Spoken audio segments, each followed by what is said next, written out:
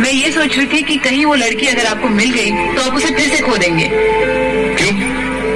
क्योंकि मुझे नहीं लगता कि आप उसे उसका नाम भी पूछेंगे। इस बार ज़रूर पूछूँगा। लेकिन आपको मेरी मदद करनी पड़ेगी उसे पहचानने में।